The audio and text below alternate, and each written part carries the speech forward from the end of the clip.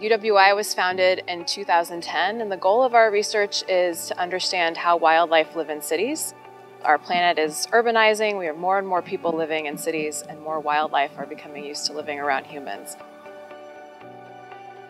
People are often surprised to find out that there's actually a lot of wildlife in cities. In Chicago, we see flying squirrels, mink, beavers, coyotes,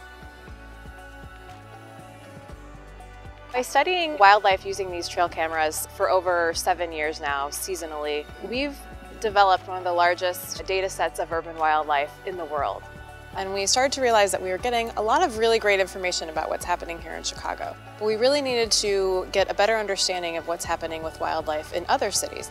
We initiated the Urban Wildlife Information Network, and we've identified partners in cities across the United States and hopefully internationally as well. These partners are collecting data in the exact same way that we are. We're pooling our, our, methods and our expertise to be able to get at some of these broad scale patterns of how animals are living in cities across the world. With the Urban Wildlife Information Network, we're creating a global data set of what's happening with wildlife in cities. And the goal of that is to be able to understand how we can best conserve them and mitigate conflict at a global scale. We have these cameras set up in parks, golf courses, forest preserves, and cemeteries, up to about 30, 35 miles outside from the heart of the city to the suburbs.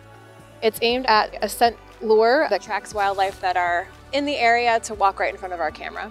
It's set to take a photo based on motion as well as infrared indication, and that's taking a photo every 30 seconds while there's active movement in front of it and that amounts to over 100,000 photos a year.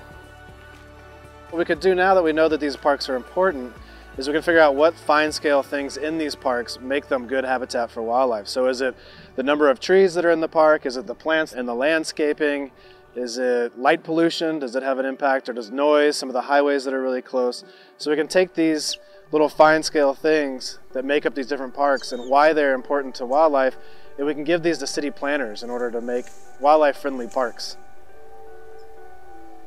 What's unique about what we're doing is that we are actually working right in the city. And very few people have ever studied wildlife in the core urban areas of cities.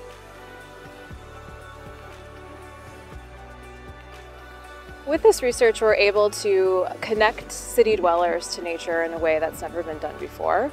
We're also able to inform city planning, being able to create not just the natural spaces that are in cities, but actually how we're creating buildings and the diversity of buildings and the structure of them. We can also get more information as to how animals are coexisting with each other, and that helps us to better understand how we can manage them and reduce conflict.